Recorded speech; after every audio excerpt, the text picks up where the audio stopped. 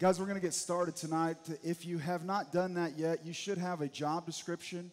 You should have a map of the building, and you should have a sheet that says interacting tips down the side of it. Just a few things before we get going tonight. Um, if you don't have those things, please go up, go ahead and see one of the ladies at the back table, and they'll help you out. The other thing is, if you were placed in a job that you didn't sign up for, or we've somehow gotten that out of order, I'm just going to ask you at the end of it to come up here to this side right here, and we'll get that all taken care of so that that Friday night there's no confusion on that. Okay. Also, if you are, if, if you have any questions that you don't want to ask publicly or whatever, when we get to the questions time, uh, I will be around here, and a lot of the leadership team that's put this together will be around here to be able to answer those questions. All right.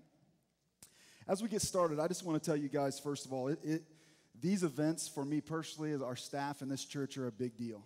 Uh, very few opportunities do you get to, one, just provide a night for people. I'm sure some of you can remember, maybe some of you sooner than, than others, that can remember your prom nights. And you can remember what that was like, the excitement that was with that. And all of these individuals, they have been excited about this event since the day after we did it last year. Uh, I know Curtis Mason, who's here for Mosaic, we've talked about it, and uh, he's been, uh, people have been just chewing his ear off since then of when's the next one? When are we going to do this again? So, to these special needs guests that are coming, it's a big deal.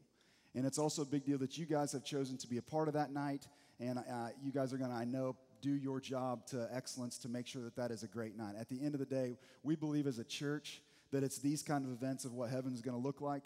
Uh, and this is why we do that. We get to provide this night that's just great for, for serving other people and just making them feel special. First thing I just want to get out of, out of the way is just um, letting you know a few things that this applies to everybody, and then we're going to kind of break down some individual group things as far as assignments go. The first thing is, is that you need to, everybody who is volunteering in any capacity needs to be here at 5 o'clock. Guests will be arriving somewhere around 5:45 and it may take we have 338 people that are volunteering for this night. So just the registration process alone is going to take a long time. So if you can make a commitment to be here at 5 o'clock and be patient with us as we get everybody checked in, and then at 5:30 we want to have a meeting just to just to have one final push of what the night's going to look like. Also, besides this room here, I want to let you know that uh, we have two other campuses our Mount Sterling campus and our Keokuk campus that will be joining us that night. So it's just not Macomb's campus here. So uh, they're going to be part of this training via video. So I'm glad that they are joining us tonight. But it's going to be uh, just an opportunity to, for everybody to get here so we can start off. The worst thing that can happen this night is to be able to start late and then it puts us behind and we cheat the guest out of even a second of dance, uh, dancing time there. The other thing I want to let you know is just because your job responsibility maybe was front end loaded, so maybe you're doing guest check in uh, or food service and that job gets over. I believe this to be true that the more people on the dance floor, the better the night is. There are still people that are talking about last year there was WIU football and volleyball players on the dance floor with me. I mean, that was a big deal because they chose to do that. So uh, I want to tell all of you guys there's, if, if you have even the slightest bit of rhythm, we would love for you to be part of the dance floor even when your job gets done. The other thing I want to tell you, it is a prom. And so we would like for everybody to dress appropriately when it comes to that. Uh, even to the point, uh, guys, we don't have as much of selection as we do, but if there's those of you who it's been a long time since you've been in a prom dress and wish you knew where yours was or whatever, we have ample amount of prom dresses here. So feel free to grab one of those if you would uh, before you leave today. Guys, wear a suit, wear dress clothes. Uh, we want to make this a special night, and just setting the tone with our dress attire is, is what that looks like. A couple other things as we get going anything that I refer to, so the way we refer to things here at the church is when I say anything behind the glass, what I'm referring to is when you walk in our lobby there, if you were to look to the left, you'll actually see a glass wall. Everything that's behind there, I'm referring to behind the glass or things that are on this side of the glass. So when I say those, that's where we're at. If you are looking at the map, the map, if you were to turn it, most of the stuff is going to be behind the glass. That's where you're going to see what those, what those activities look like. So, right when guests get in here, uh, what they will do is they will go into the studio. And when I refer to the studio, that would be if you find the front doors, the first doors to the left are the studio. And that's where all the buddies and all the guests are going to start their night and check in. Otherwise, if you are doing food service, after you do the check in, you'll be in here. If you're doing activities, you'll be behind the glass. If you're doing any kind of check in for volunteers, you will be uh, on, the, on this end behind the glass to where we do those things. So, just to kind of give you a layout of what I'm referring to. So, buddies, once, once buddies and guests check in, you will run them through a process behind the glass there that includes everything from getting their hair done, getting their makeup done, getting a crown put on them or a tiara, depending on if they're a male or female. And then also, the last thing is before they hit the red carpet, they will get a flower, a corsage, or boutonniere put on them, and then they will hit the red carpet and their night will start. So that's kind of going to be the pathway back there. If you are also uh, a part of any type of with uh, as a buddy, they can do anything on a free a free rein of the building the entire night. So, unfortunately, maybe some of your guests wants to shoot baskets all night. Well, that's what you need to do with them. But the, all the activities and anything else will happen will happen behind the glass there. So now what I'm going to do is I'm going to get into individual jobs. If you have a question about that individual job, just kind of make a note of it, and we'll have a time for questions at the end. But I want to make sure I cover everybody's job and what that night uh, looks like. So, first of all, the biggest volunteer area that we have is, is those of you who are buddies. So, if you are a buddy, every single person that is any kind of volunteer will, will come down to the doorway. You'll see a thing says that children, kids check in above the door. Every single person that's volunteering that night will start there. You will go there, there will be four computers that'll be manned by somebody. You'll give them their name, they'll type it in, and you'll get a name, a name printed out. Okay, if you are a regular volunteer. Everybody with me on that? Where that is? You, if you, when you go, if you look in that corner of the lobby, you'll see that check-in area, and that's and you'll get your name tag printed out there. So, buddies, your job from the time you're going to get a card, where, which is going to be your registration piece and that is going to, as you sit in the in the uh, um, the studio area there, there's going to be two sides of the room, one for guests, one for buddies. And the way this this entire thing is going to work is you're going to get your card, and when you get to the front of the line, you're going to be paired up with a guest, and you will get your card and their card stapled together. On that card will give you any information that you need about your guest. So let's just say, for example, your guest needed their food blended because they are not able to chew. It would say that on their card so you would know that and then there will also be instructions given to you where you take your food to be able to use the blender to be able to do that. For those of you who are panicking right now out of 130 some odd guests there's only three of them so that's not going to be a huge part of the night. But just those information if for some reason your guests cannot have their picture taken for social media it'll be marked on there so that they know that. But everything you get will have two cards your name and their name when you go after you get checked in you will, you will then check their code in you'll get a number you need to write that number on your card because you'll be responsible for getting them back to getting their right coat on at the end of the night. Okay, your job as a buddy is basically this whatever they ask you to do that falls on the line of appropriate, you do that night. Shoot baskets, play carpet ball, sing karaoke. We had one girl last year that she didn't leave the karaoke room, and that was somebody's night, but it was special to her. Some of you will be sore the next morning because your, your partner is going to dance you into the floor. You think that's funny. It, it, happens every single year. You think you're in shape and somebody dances, uh, dances your feet off all, all night long with that. Um, when you arrive here, buddies will be the only ones that will eat in the auditorium with their guest. All other general volunteers, we will have a meal for you, but it's not the sit down meal. We're going to feed everybody else pizza because you're going to be working while they, while they eat. Buddies, once you get your guest, you're going to basically behind the glass, you're going to follow a straight line. It's going to be coat check. Then you're going to walk down further, get their hair done and makeup done. Then you're going to come back to the, what looks like a McDonald's play place. And that is where they're going to get their crown or tiara and their flower. That's the last thing you do before they hit the red carpet. Once they hit the red carpet, they're going to stop in front of a, a big banner with decorations on this red carpet. They're going to get their picture taken. That's the picture that we give them as a gift. So do your thing, make sure you're looking great, make sure they're smiling, you'll get your picture taken, and then you will, from there, there'll be cheers, everybody will be going crazy, and then you'll bring them into here. Around this entire auditorium will be tables and chairs set up. And in the middle here will be a will be a wood flooring that's going to be our dance floor with all the DJ lights, all that kind of stuff. So once you come in here, you get them fed, and then from that, that once they eat their meal and you eat your meal as a buddy, the night is theirs. So from that point on, you ask them what they want to do, you know what's available, and then you go and you, you do that with them. But your major job is to make sure that, one, you give them all the opportunities. If they don't want to get their hair done, no problem. Pass it. If they don't want to wear the crown, no problem. Pass it on. Okay? The last thing you will do, the last two things you will do before the night ends, you have to make sure they leave here with their coat, and you have to make sure they leave here with a gift bag. Okay, so if you get them out of here to their caretaker or their, their correct vehicle with those two things and they've had a great night, uh, you, ha- you have done your job. So that is the buddy role. The next job, if you've gotten that, is if you are part of volunteer check in. This includes everybody except for buddies. Okay, so you will be you will be checking in every single volunteer. We will have a process set up if for some reason somebody doesn't show up on the computer, but it should be as simple as what's your name, type it in, hit enter, a, a, a name tag will print off, you send them on your way. Okay?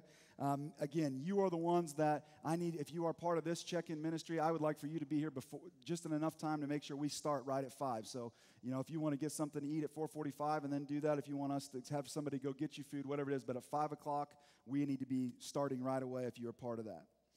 Um, the next thing is if you are part of that team, that volunteer check-in team, if that was your name, Sarah Oster is, and, and Kristen Harper are heading that up. So Sarah would like to meet with you over in this area at the end of this time if you are a part of that team, just to kind of give you final instructions for what that night is going to be. If you are part of our guest and buddy registration team, again, you will need to be here at 5 o'clock, get checked in, and then we will, we will have you in the studio to explain what that process is going to look like for the night. Uh, the biggest thing that you will do is making sure that we are checking off that every single buddy is here and every single guest is here. I also want to say this there are some of you that signed up to be buddies that right now we have more buddies than we have guests. So there are some, if the night ended right now, which we're still getting registrations, there would be 10 or 12 people that wouldn't get. What we're going to do is once we get towards the end, we're going to start doubling people up so that everybody can still be a buddy, but you may not be by yourself with that person. But we are going to try to make sure that everybody that signed up to be a buddy gets to be a buddy that night, but it may look a little different towards the end than what it is there. Okay? Uh, once, once you are part of that registration and you've given the buddy what they need as far as both the name badges, then you're, you are, you're going to move on to the next person. But you, your whole job is to, to make sure that that registration process, we get people paired up and we get them on down the road so we can keep the night moving and getting to go as, as quickly as possible. Um, if you're part of the parking lot team, the biggest thing, we're going to have lots of people, lots of different uh, uh, campus people coming here that maybe have never been here for the first time. I'm going to ask those of you that are volunteering to park as far away from the front door as you can, just so we can provide first class service for those people that are guests. Also, if you're part of that parking lot team, you may be having to help unload a walker or unload a wheelchair or something like that. Just, just making sure that you get people directed to where they need to go as far as parking, as far as where the front doors are, as far as getting them unloaded. That would be all part of that parking lot team there. If you are an MC, uh, meaning that you are, rep- you are responsible for announcing the guest at the red carpet, your job is to get the card from the buddy. You'll, you'll announce the name just like the starting lineup at a sporting event, get, get the crowd riled up. Once their name, everybody cheers. You make sure you give the buddy their card back because that's their information for the night, and then you are able to uh, go on to the next guest. Your job is to kind of, kind of be keeping the whole red carpet moving so we can get all the guests through as quickly as we possibly can. If you're part of the paparazzi, basically we're going to have an area right by the red carpet that everybody is going to be at. We would encourage you to bring, if you have a camera that has a flash on it, if you have a cell phone that can take pictures, if you have whatever, bring your loud voice for sure we want that to be just a rocking time. So when they walk out of those doors and they hear their name, it's absolute pandemonium that people are cheering for them and yelling for them. And, and, and that is going to be a really, really uh, good, good night. If there is a guest that can't get their picture taken, we, you will know that. We will, we will make sure that the MC knows that before we announce their name, even, because he'll, he'll know that based on having that information on that card. If you are part of the greeting ministry, you're going to be responsible for everything in the foyer area when you first walk in you need to make sure that you are very familiar with that map because people are going to be you're going to be the first line of people that they may ask questions to. Hey where do i go for this? What, where, if i'm a buddy where do i go? Where do i check in if i'm a general volunteer? All those things and make sure you, you know where things are at so you can point people in that right area. The other thing if you're a greeter i just want you to be aware of in this corner and in our conference room that's right through those doors we're going to have a respite room uh, this year, they opened up the Night to Shine prom to those individuals that are 14 years and older, which means we could potentially have um, special needs guests that are still living at home with their parents that can still come, where last year you had to be 18 and older. So, why we have a respite room is there's some parents that don't want their younger child to be here by themselves, but they would like to have a break for the night but still be here. So, we'll have chairs and seating over here, and then we'll have a conference room for them to chill out, but they can still watch their son or daughter have a, have a great time at the prom. So, greeters, you'll need to know that that respite room is back here.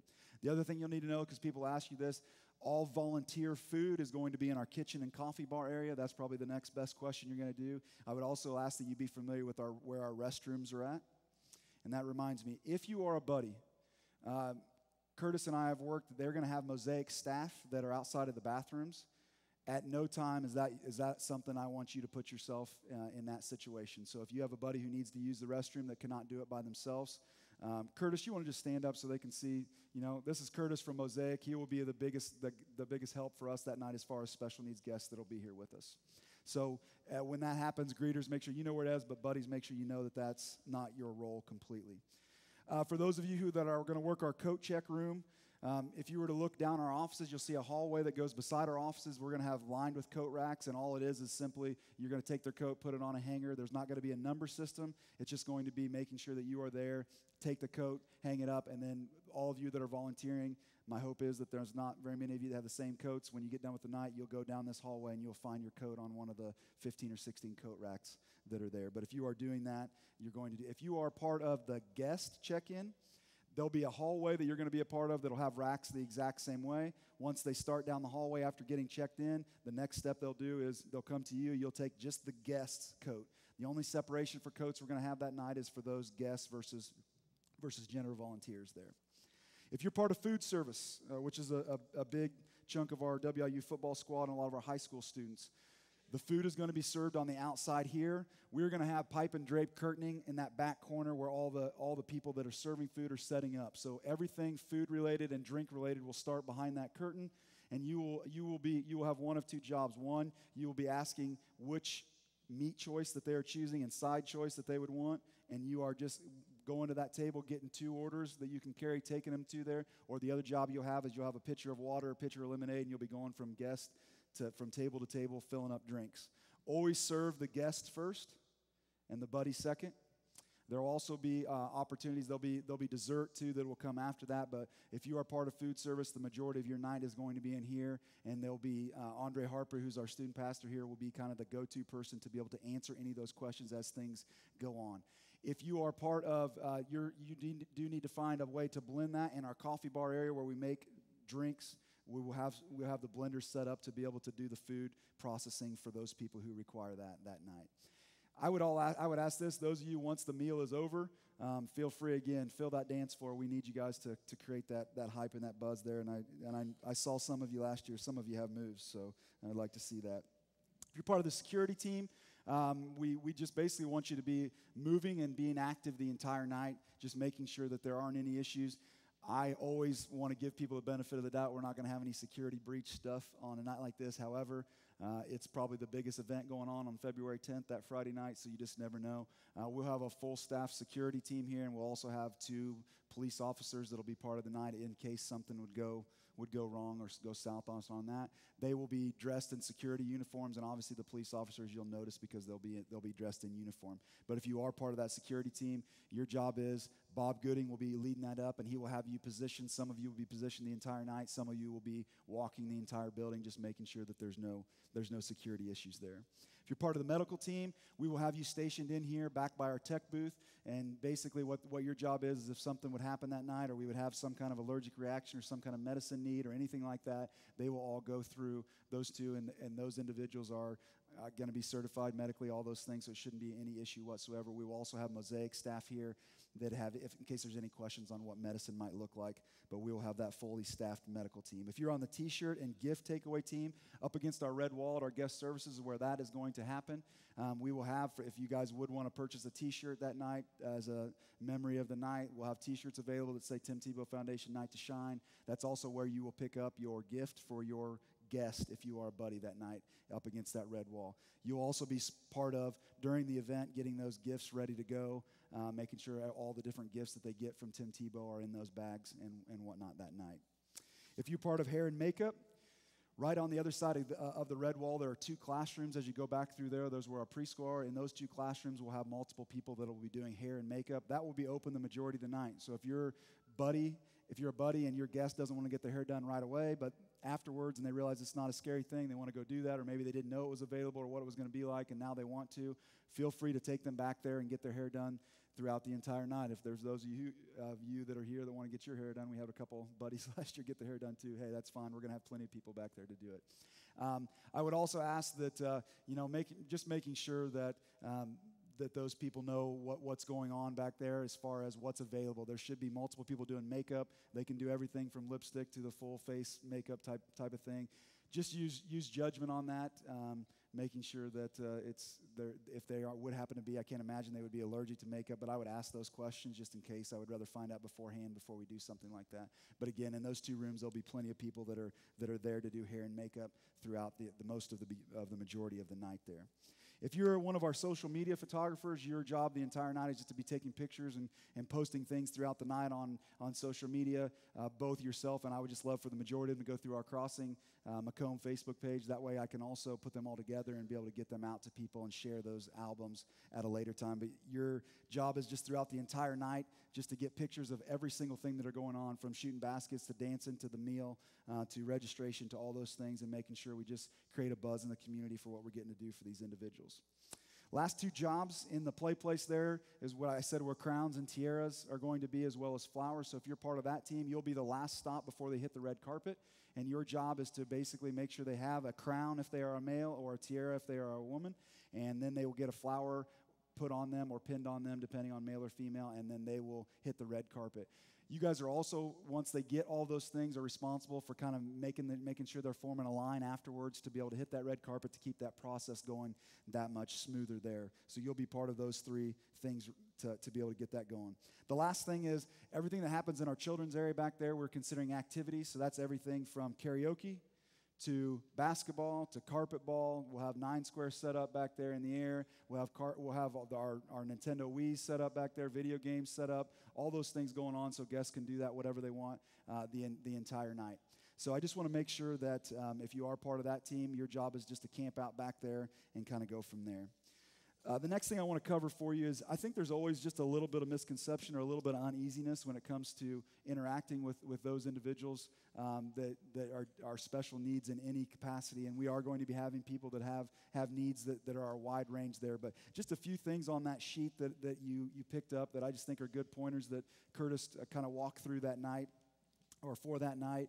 And I think that there, there are a lot of things on there that are pretty self explanatory, but I think there's times that um, we, we're going to make it more complicated. But this sheet right here just kind of makes it a lot easier for you to do. Basically, just simply being able to talk through things, saying hello to them. Taking that, that first interaction and just making it a positive one. You know, having conversations, don't force it. There's a lot of them in the beginning of the night that are going to be really timid because they don't know you and you don't know them. But I think as you will get to going, it'll, it'll get to a point where there's a lot of them that have already hoped, there's hoping that the people they had last year are going to be there again so they can be paired up with them. And so as the night goes on, it's going to get that much, that much easier and that much more comfortable. So just making sure that there, there's just natural conversation with that. Also, uh, routine is important for them. So understand that this is something that may be out of their routine and that may cause behaviors. I don't know. I'm, I'm somewhat like that too. I have my daily routines. I'm sure you do too. And this, this may be out of that routine. So just, just being patient with them and making sure that if they have questions or they're uneasy, maybe you need to walk them and show them everything that's around there. Maybe that's your first step. You'll just kind of get a feel for that with them. Um, a lot of times we want to tend to focus on their disabilities instead of their abilities.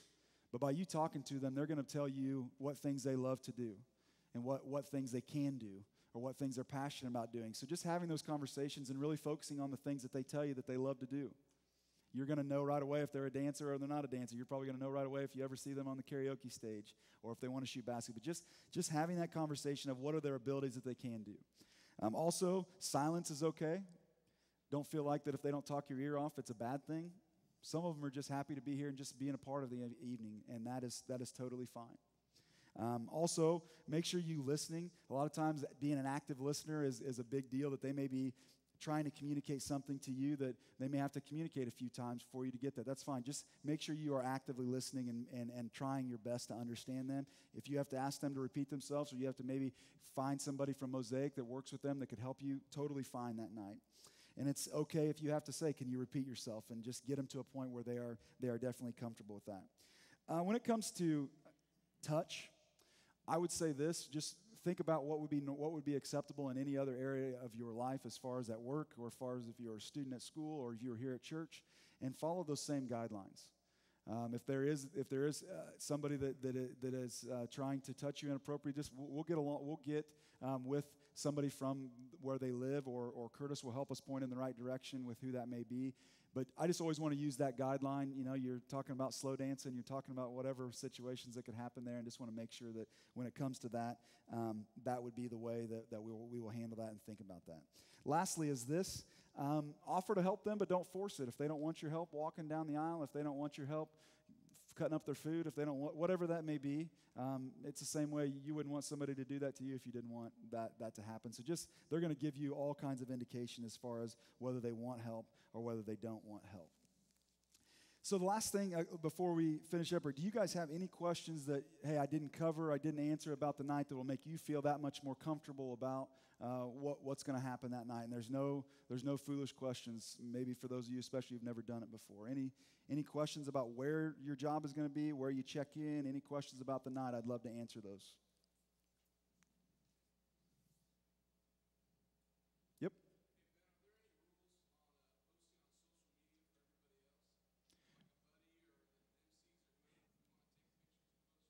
Curtis, correct me if I'm wrong on this, but as long as it's a whole group type photo, there shouldn't be any issue. And we, everybody has signed a photo release. And if they did not sign it for some reason, Curtis will let me know, and I will make sure that that person knows. But even if they don't have a photo release signed, if they are part of an entire dance floor, that's not an issue. It's more if you take just their own individual shot and, and put it on Facebook, that would be an issue.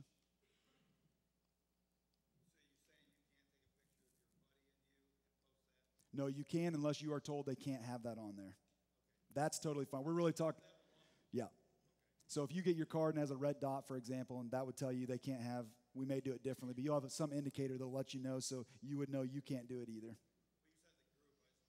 Yep. It's more if that if that special needs guest would be singled out in any way and they can't have their picture taken, that would be the one that would be not right versus an entire dance floor, a basketball court full of, of guests. What else? Yep. It'll start at 6 o'clock and it'll, it'll get over at 9. I would say for you, I would make sure that you, we'll probably shut you, shut hair and makeup types type things down probably by 8:30 or so, so you can actually be completely done and out of here. If they haven't gotten their hair done or whatever in the first two and a half hours, then sure. And I would say this too. There's gonna, I think we're gonna have a huge team of hair and makeup people. If you guys say, hey, why don't you do it the first hour? I'm gonna go dance, and then I'll come back and do it the second hour. That's totally fine. Totally fine. What else? Yep.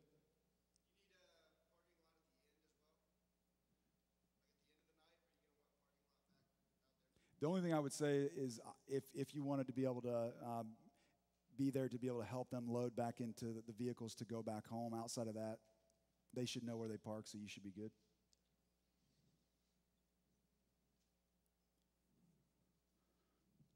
Other questions?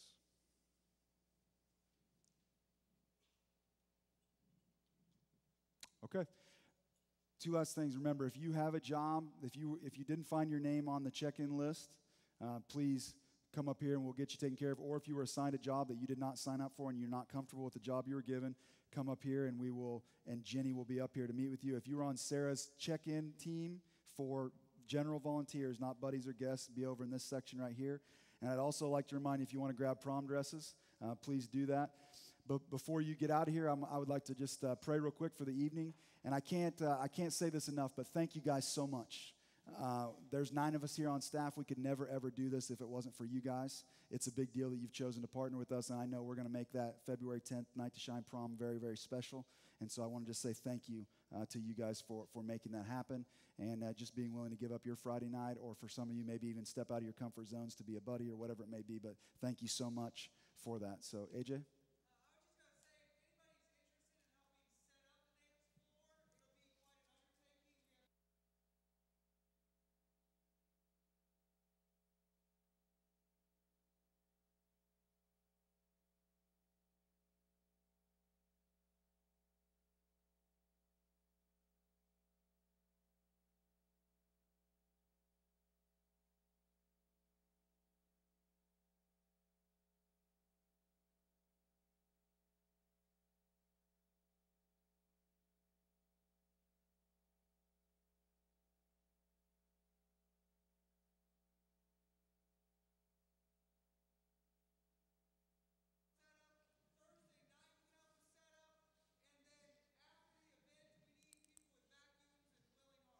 And if you do have a vacuum and you can bring it, AJ, why don't you just be by the door? If you can let AJ know, hey, I'll bring my vacuum because we definitely will need, we'll have to turn the, the church back around so we can have service on Sunday morning. So be a lot of pick up and clean up that night that'll happen. Okay?